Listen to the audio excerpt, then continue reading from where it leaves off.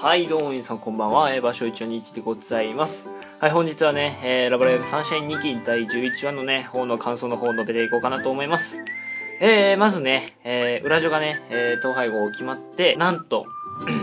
並行祭というね、またね、文化祭とはまた違った、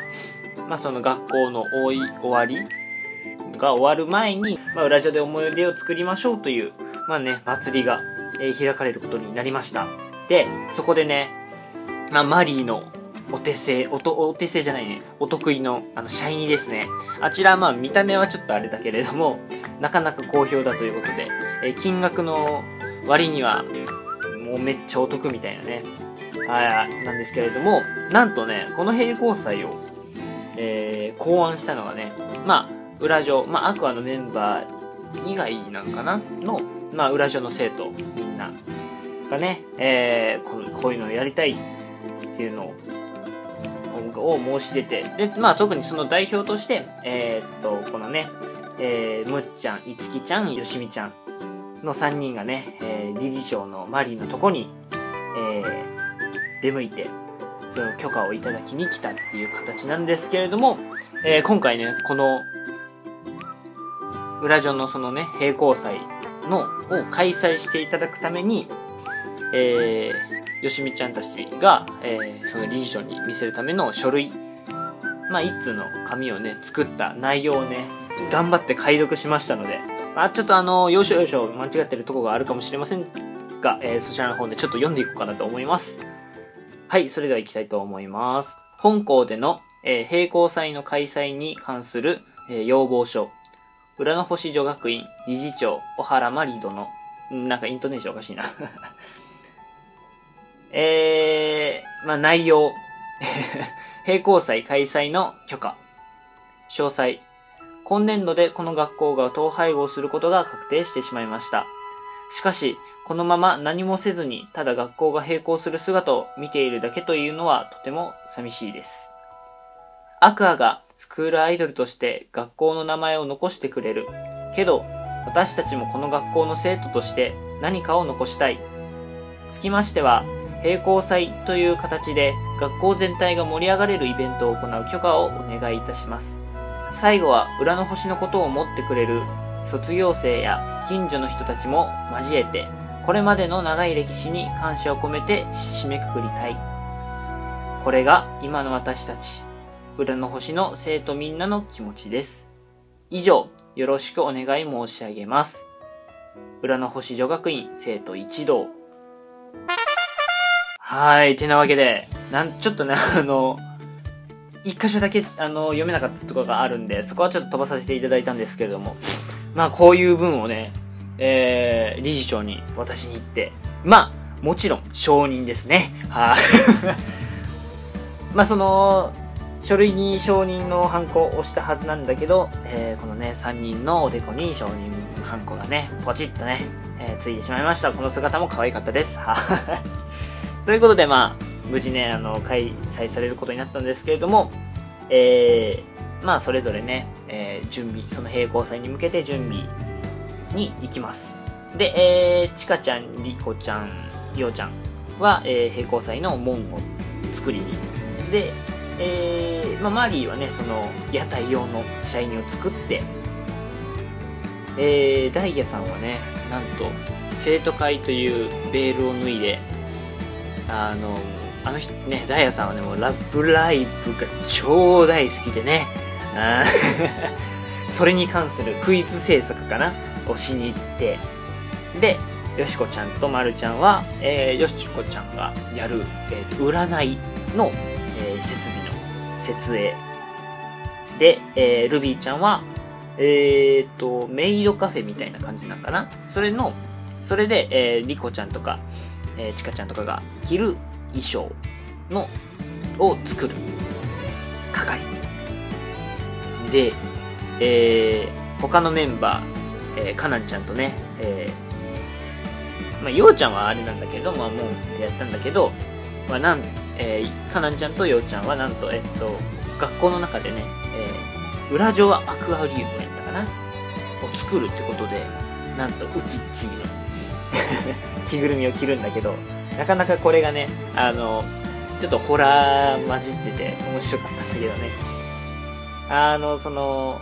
裏所のね、廊下を走り抜ける二人の初代ウチッチーと、初代ッチーと、えー、ウチッチーね、の後を追いかけて、えー、チカちゃん、リコちゃん、マルちゃん、ヨシコちゃん、ルビーちゃんがね、後を追うんだけど、その後を追ってる最中に、シーツの塊がね、ヒュンって目の前を通ります。まあ不審、まあそれ不審に思うわね。うん、それを、そのシーツの塊を追いかけた先には、なんと、えー、暗い倉庫みたいなところにがあって、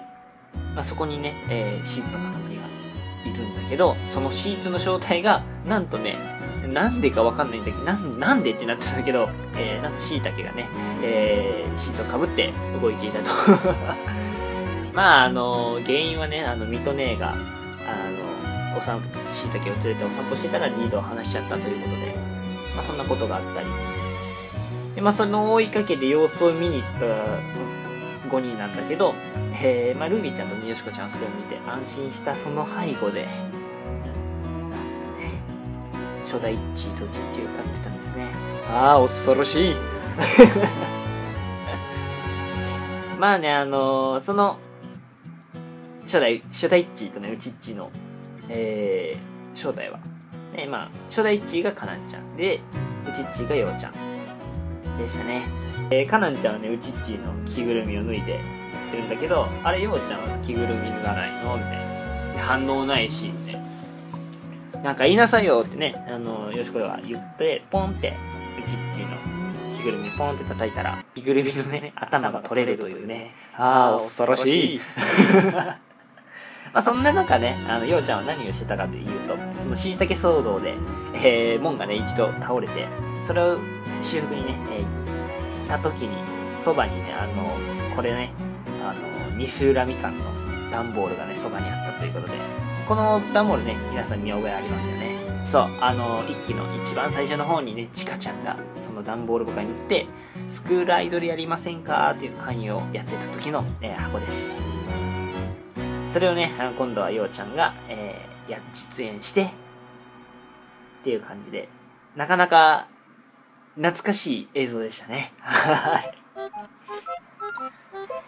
さて、ではね、あのー、並行祭本番になるんですけど、当日にね、えー、なるんですけれども、まず、えー、メイド喫茶かな。で、あの、メイドさんやってるチカちゃんとリコちゃんのこの衣装がね、また可愛いんだけど、可愛いんだけど、この衣装をね、参考にしたのがこのね、壁食い大正ロマン編ということで、まあ、リコちゃんのね、隠れ趣味というか あの 壁ドン伝説ね。それの雑誌をね、参考にしてもらったりとか、あとはね、あの、教室の、教室の裏上アクアリウムであったりとか、えー、まあ、ダイヤさんとルビーちゃんがね、えー、なんていうかな、司会担当、司会まあ、進行してるラブライブクイズがあったりとか、で、まあちょっと、まあそ、そこら辺、あの、ここら辺はね、とても人気だったんだけど、なんとね、あの、よしこちゃんの占いはね、あまりちょっと不評ということで、まああまり人気がなかったんだけど、まあその、まるちゃんがちかちゃんにね、お助けの方、ちょっと来て、つって。で、まああの、今後のね、アクアをを占ってもらうという、まあその、占っ占う、そのアクアの今後は占うまでもないっていう感じでしたね。で、その占う時になかなか、あの、すごいリアルな BGM が流れたと思ったら、そのそばで、あの、リトルデーモンリリーが演奏してるというね。さてさて、えー、場面は変わりまして、屋台の方になりますけれども、まあね、あの、試合にはね、本当にもう長蛇の列ができておりまして、大変人気で人気やっておりますが、その場にね、えー、ミトネーとシマネーがいます。まあ、ミトネーとシマネーは何やってるかって言ったら、このね、あの、焼きみかんを売ってました。これ焼きみかんってね、あの、初めて聞いて、あ美味しいんだろうね。まあ、食べたことないので、またね、もし機会があれば食べてみようかなっていうのはありますが、はい。まあ、そんな時に、えー、裏所のね、屋上で、えー、むっちゃんと、いつきちゃんとね、よしみちゃんの3人がね、サプライズということで、このような風船が上がります。はい、あの、裏地ありがとうということで、まあ、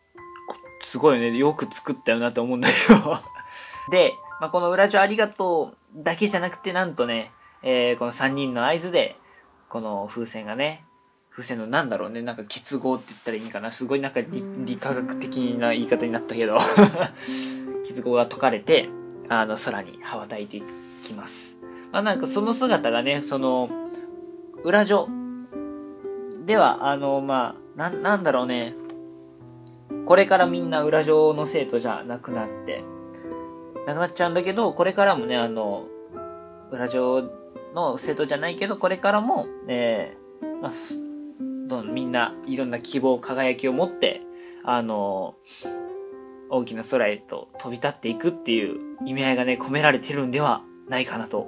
思います。まあね、ここら辺に関しては、あの、いろいろ考えはあると、あると思いますのでね、まあ、皆さん考え方それぞれでございます で、まあ、あの、そっからね、えー、まあ、それぞれメンバーの、その、平行祭を楽しんでいるシーンがね、流れて、最後に、えー、これなんて言うんだっけな、キャンプファイヤーじゃないんだけど、このね、あの、木を組み、組み上げて、あの、その中に、そこを囲んで、なんか、やるっていう。まあ、あの、こういうイベント行事の、ま、まあ、なんていうかな、締めと言いますか、締めそういうのにふさわしいシーンがあって、もそこではとてもなんか、ね、その、まあ楽しいことはすぐ過ぎ去っていくというのがあったりとか。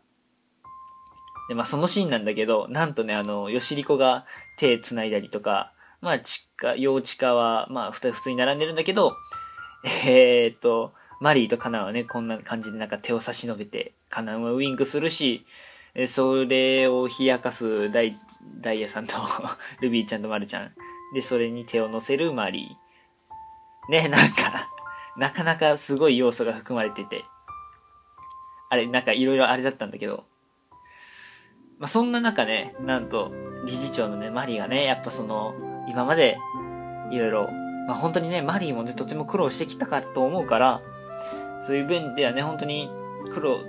本当にね、あの、裏女が統廃合してしまうという結果になってしまったことに関しては本当にね、あの、理事長として申し訳ないっていう気持ちがいっぱいだったんですけれども、あくあ、あくあっていうみんなのね、声に押されて、あの、頑張るぞみたいな、その、なんていうかな。まあもう、裏ちゃんはね、あとラブライブに向けて、名前を残していかない、いくということなのでね。はい。で、もう、な、やっぱね、もう毎回毎回何言ってるかわかんなくなってくるんだけど、いや、ここがね、一番感動したのがね、あの、エンディングあるじゃないですか。勇気はどこに君の胸にですね。はい、それがあるんですけれども、いつもならね、あの、なんていうかな、一番の歌詞で終わるつも、あ終わるんだけど、なんと、最後の最後でね、あの、みんなの合唱が、その、裏上の生徒だけじゃなく、えー、卒業生いや地域の方々がね、えー、大合唱で、あの、やるという、あの、ここでは本当にちょっと、涙腺に来ましたね、本当に。そのマリーの、その、お話でも、涙腺には来てたんだけれども、この、みんなで歌う大合唱するっていうシーンがやっぱね、とても良くて、あの、何かね、あの、目頭が大変熱くなりました。はい、ということでね、まあそんな感じでいつも通り、本当にいつも通りね、あの、だらだらだらだら長々長々と、えー、感想のようで、あらすじを言って感想のようで感想でないような、えー、感想動画をね、撮ってきましたが、いかがだったでしょうか。本当に、あのー、長い間ね、来てくださった皆さん、本当にありがとうございます。いやー、本当にね、この輪に、この回に関してはね、本当に皆さんね、いろいろ思われたことありますと、あると思いますので、まあ、えー、っと、僕の感想はね、これ一個人としての感想ですので、まあ、あのね、温かい目で見てください。はい、まあでも、残すとこあと2話ということで、なかなかね、もうクライマックス、本当にクライマックスに近づいてきておりますので、まあね、あの、おそらく、次はカナンちゃん会ということみたいなので、まあね、あの、残りわずかですが、彼女たちのね、輝きをね、えー、もうう少し見守っていきましょう。はい、ということで、えー、本日の動画は以上になります。ご視聴ありがとうございました。えー、この動画が良かったらね、高評価、そしてチャンネル登録の方ね、ぜひよろしくお願いいたします。